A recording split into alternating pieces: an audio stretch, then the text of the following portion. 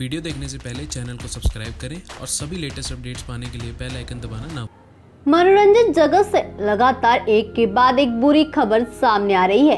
कुछ देर पहले अजय देवगन स्टारर फ़िल्म दृश्यम के निर्देशक निशिकांत कामत के निधन की खबर आई थी।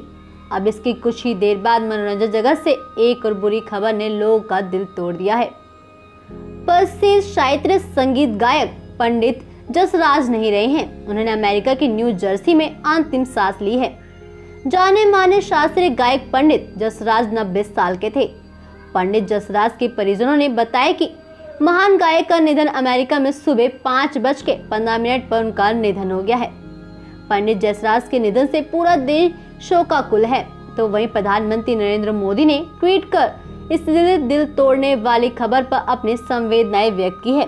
प्रधानमंत्री नरेंद्र मोदी ने ट्वीट कर लिखा कि पंडित जसराज जी की दुर्भाग्यपूर्ण निधन से भारतीय संस्कृति क्षेत्र में एक गहरा प्रभाव पड़ा है। न केवल उनकी प्रस्तुतियाँ उत्कृष्ट थी बल्कि उन्होंने कई अन्य गायकों के लिए भी एक असाधारण गुरु के रूप में अपनी अलग पहचान बनाई थी।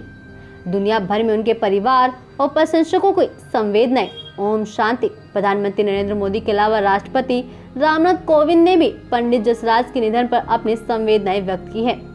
बता दें कि पंडित जसराज मेवाती घराने में ताल्लुक रखते थे। पंडित जसराज ने अस्सी साल तक संगीत की दुनिया को रोशन किया है। इस दौरान उन्हें कई सम्मानों से सम्मानित किया गया है।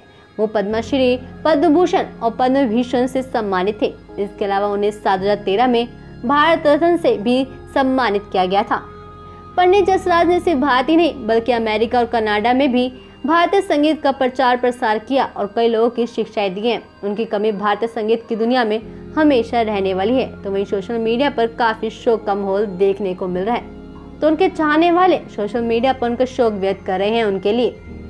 मनोरंजन जगत से जुड़ी ताज़ा तरीन खबर के लिए चैनल को सब्सक्राइब करें। न्यू अपडेट पाने के लिए बेल आइकन प्रेस करें और हमारी वीडियो पर लाइक कमेंट और शेयर करना ना भूलें।